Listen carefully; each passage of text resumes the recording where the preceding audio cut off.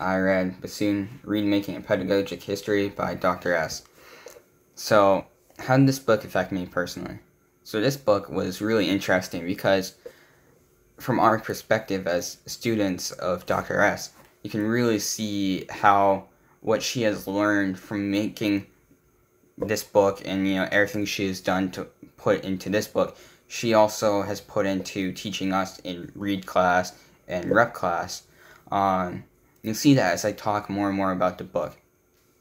So number two what contribution does this book provide for the field at large?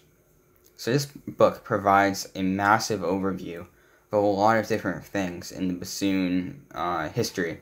So it talks about bassoon making history, the developments of that, like the French bassoon and the German bassoon, and how the German bassoon won out between the French and the German bassoon. It talks about uh, bassoon repertoire and pedagogy history. It talks about bassoon reed making and bassoon reed making history as well. So, who is the audience for this book? Who is Dr. S writing this book for? So the primary audience for this book, in my opinion, is bassoonists.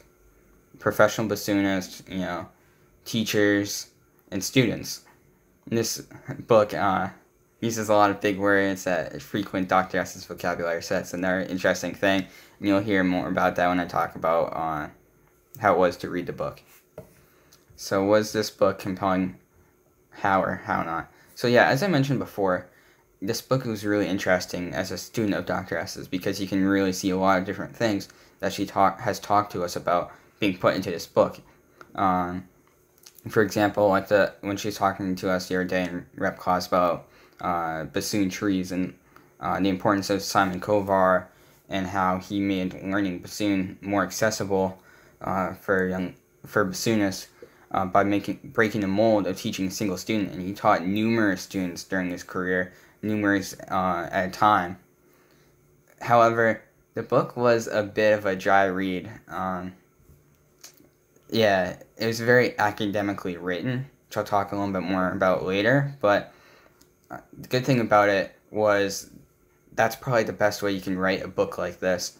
Um, however, there was a lot of historical quotes and diagrams in the book that provide a fresh refrain from the dense reading uh, and they were always related to the text and enhanced the points that Dr. S made in her her writing.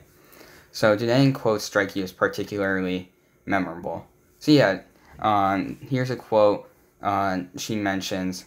Uh, this comes from Lou Skinner. So, there's two ways of teaching people how to make a bassoon reed. One way is to lay out a recipe to be followed step by step. The other way is to explain the principles of how a reed should function going, uh, giving the makers the information needed to create their own recipes. When we first went to Lou Skinner for lessons, most of us taught different reed recipes based on his remarkable perception of what we needed to know as, at the moment. Gradually, as our lesson continued, we began to understand the theories that he had been telling us from the beginning. So, this quote was from a student of Lou Skinner, um, who was a 20th century American bassoonist and poet pedagogue who uh, taught reed making to his students. And he also uh, changed gouging methods and uh, expanded upon eccentric gouges, which are more elliptical shaped gouge, and concentric gouges, which are uh, inverted gouges. So next, we're going to talk about the author's credentials. Who is the author? So, Dr. S, we all know and love her. She is the author of this book. Uh, the the teacher who does not make any B reeds. Uh, so if you don't know already, she's hailed as a soloist, teacher, and force of nature by the Double Reed, which is the journal of the International Double Reed Society, or IDRS. She has recorded three solo albums uh, titled Bassoon Unbounded from 2018, Bassoon Transcended from 2013, and Bassoon Surrounded from 2009. Dr. S is currently on faculty at Ithaca College in New York she is our teacher, if you weren't already aware. Nate. Previously, she has held positions with Miami University, the University of Nevada, and various orchestras throughout the West. Dr. S has received degrees from Northwestern, Michigan State, and Arizona State universities under the guidance of Robert Barris, Barrick Stees, Michael Kroth, Albie Micklich, and Jeffrey Lyman. So, what did I learn from reading this book? So, I learned about how the scraping of cane changed and how reeds have become much more softer um, as a result from scraping uh, in the in the gouging process from originally being pith to bark, and now modern reed makers use bark to pith.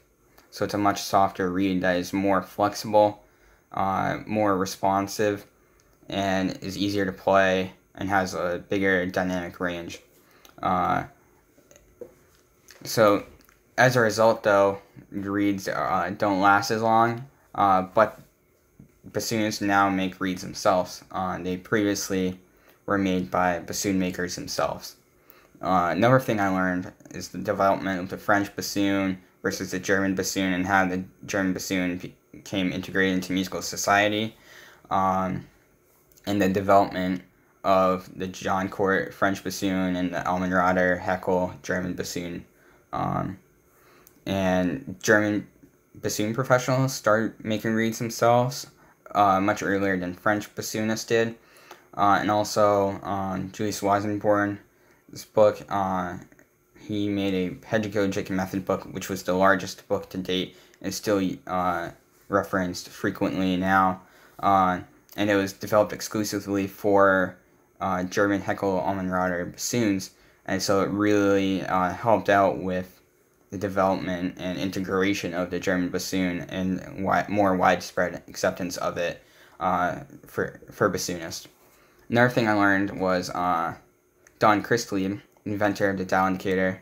Uh, he was the father of Pete Christlieb. This isn't from her book, but I knew Pete because he's a LA-based jazz saxophonist I've been listening to, and so I had heard of that his dad was a bassoonist, but I didn't know and he his dad invented the dial indicator as we know it and, based, and changed reed uh, scraping methods as we know it uh, and making them more consistent.